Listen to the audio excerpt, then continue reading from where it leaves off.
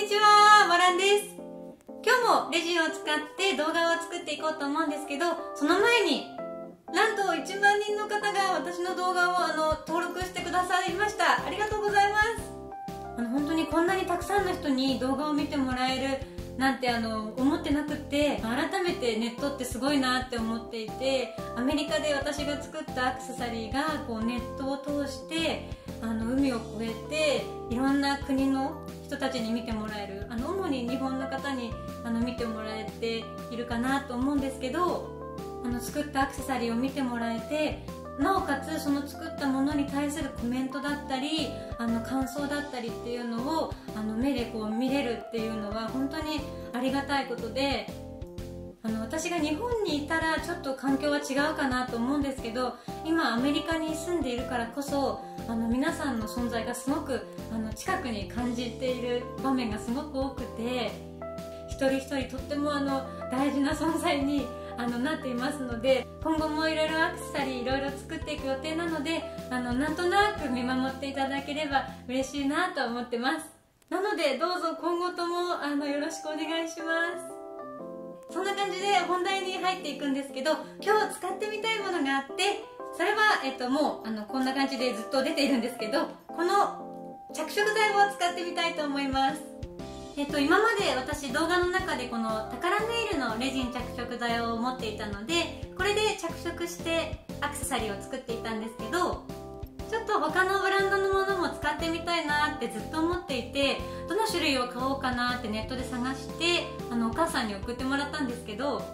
今回購入したのはビトラーユっていう着色剤です。あのかなりいろんな色味があったんですけど全部で18色あのまとめて買ってみました。今までに持っていない色味もたくさん入っていたのであのこれから今初めて開けて使ってみるんですけどどんな色ができるのかとっても楽しみなのであのぜひ皆さんもちょっとこう参考に見ていただけたらなと思います。あの今回どんな着色剤を買うかすごく悩んだんですけど一番有名なのはあの多分宝石の雫なのかなって思ったりしたんですけどこれはあんまり私も知らなかったんですけど、えっと、ビトラーユっていう名前でレジンクラフトガラス金属あとプラバンなどにも使えるみたいで、えっと、透明感に優れたフランス生まれの美しい色彩が特徴で自然乾燥後色あせしにくくしっかり定着。えーと、使い方は爪楊枝などの先端に少しずつあのつけて混ぜながら使うみたいです。今回はこの着色剤ビトラーユの色見本を作っていきたいと思うんですけど今回作る色見本はモールドに入れるものではなくて私は普段こういったワイヤーにレジンを流し込むことが多いので今回はこのたくさん花びらを作っておいたのでこの花びらに実際に着色したレジンを流し込んで固めてどんな色味か見ていきたいと思います。さっきもお伝えしたんですけどこのビトラー油こういった先の尖ったものでちょっとずつ液をこう調節しながらレジンに混ぜていくタイプなんですけど着色剤の入れる量によってかなり色味が異なるみたいなので今回は花びらを3枚用意して一番色が薄いもの中くらいのもの一番濃いもの3つの色味のこう濃度が分かるように1つのお花としてちょっとこう分けて作っていきたいと思います。それからやる前に話してばっかりですみません。今回はこの朝食パレットに色を作っていきたいと思うんですけどいつも私が使っているこの金属の器具前に質問があってこれはどんな道具ですかっていう質問があったんですけどこれはビードリーマーといってビーズの穴が小さい時なんかにこれをちょっと中に入れてあの穴を拡張するような道具だそうです。全くこの道具レジンとは関係ないんですけどこの先端が金属でできているのであの着色剤がこう爪楊枝みたいにこう染み込んだりすることもないしレジンが先端に固まったとしてもカッターなんかでこうやって削り取れるのでとてもあの何度も使えるので便利なのでよくこれを使っています。一時期このプラスチックのものも使っていたんですけど私よく着色剤を微調整したくてこの先端で、あのー、液をこう触って調節したりしてたんですけどこの先っぽがどうしてもこう色素が染みついてしまったりして変色したりして、あのー、ちょっと汚くなってきてしまうのでこれはあのできるだけ綺麗に使いたいなと思ってレジンを混ぜるだけにしています。いろいろそういった理由があってこの道具をあのずっと使っています。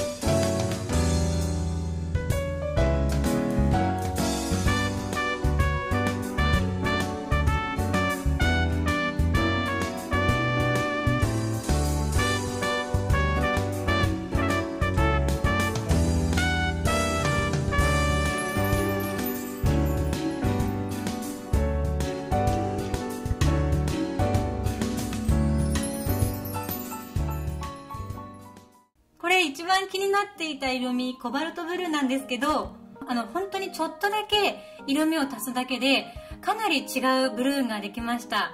この3色の綺麗な色味がこの1個でできてしまうのがちょっと個人的に感動でした。若干今まで使っていた宝ネイルの種類よりもちょっと混ざりにくいかなとは思ったんですけど混ぜていくうちにだんだん色味が馴染んでいってあの硬化させたら本当に綺麗な仕上がりになりました。本当に透明感っていう意味では本当に綺麗だなと思います。なんかこうガラスのような輝きがあります。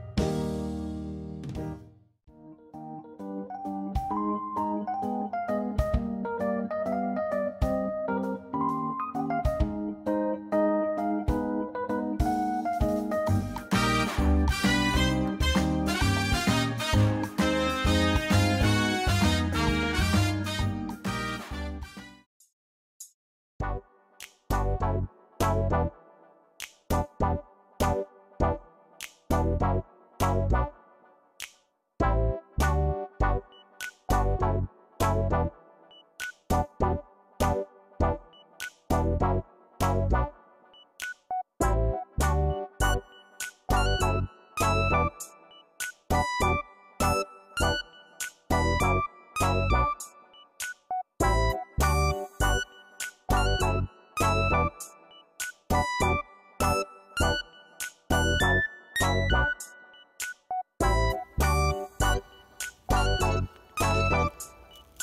と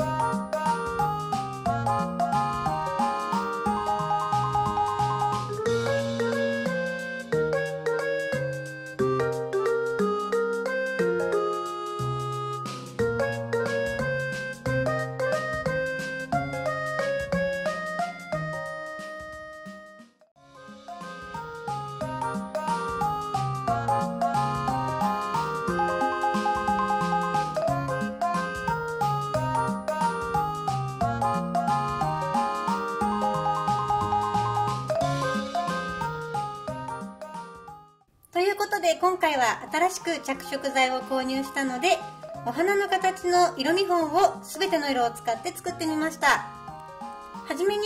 今回はアクセサリーとして作ってはいないのでこの表面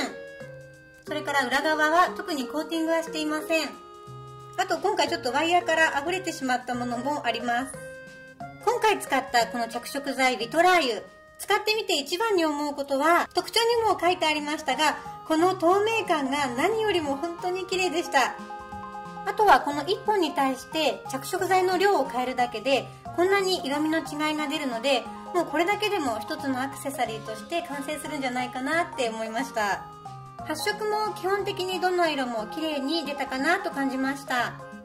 あとは私個人としての感想なんですけど私今までこのタカラネイルのレジン着色剤を使ってきたんですけどこれに比べたらしっかり均等にこう混ざりきるのに少し時間がかかったかなって感じました。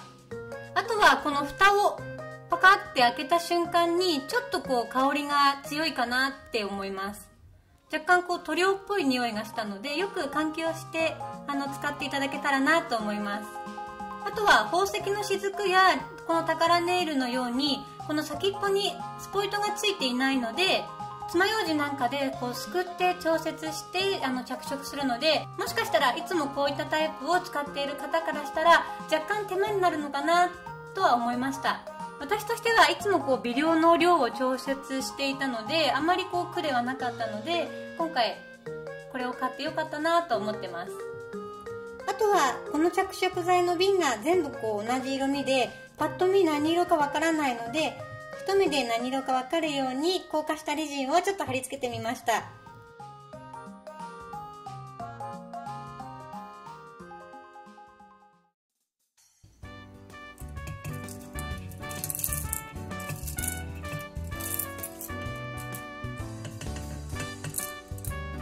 今回作った色見本全部の色に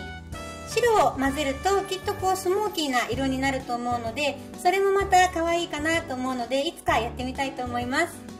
あとは個人的にこの色見本をどう仕上げるかがちょっと今悩んでいて何かに全部こう貼り付けてしまって色味の名前を書いて保管しておこうかなとも思ったんですけど私アクセサリーを作る時に色味をこう合わせてみてこれは合うなとかこれはちょっと合わないなとかこんな風にしてちょっとこう色味を考えたりアクセサリーを作る時にあのそんな風にこう色味を考えているので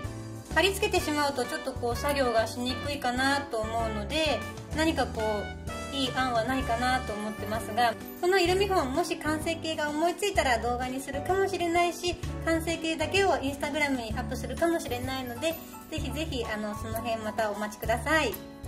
今回作ったこのお花たちもし動画内でちょっと色味が分かりにくかったなっていう方がいらっしゃったらインスタグラムに綺麗に写真を撮ったものをあの載せておきますのでぜひそちらを参考にしていただけたら嬉しいなと思うので